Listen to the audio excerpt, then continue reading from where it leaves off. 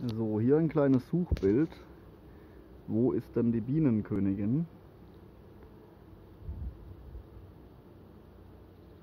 Habt ihr sie schon? Ich gebe euch einen kleinen Tipp. Die Königin, die hat immer längere Beine wie die anderen Bienen. Die ist auch ein Ticken größer, aber auf die Größe von der Königin würde ich mich nicht unbedingt verlassen. Und wie ich die Königin immer so schnell entdecke, ist, ich gucke mir die Wabe mit ganz leerem Blick an und dann beobachte ich lediglich meine Bienen und suche gar nicht aktiv nach der Königin, sondern suche nur nach Anomalien, wie die Bienen sich verhalten. Jetzt löse ich das ganze Bild mal auf. Die Königin ist nämlich hier. Und jetzt kann man das auch mal sehen. Naja, jetzt nicht mehr, jetzt geht es nämlich weg. Aber die Bienen umringen ihre Königin immer. Und deswegen kann man die mit einem guten Blick dann auch relativ schnell finden.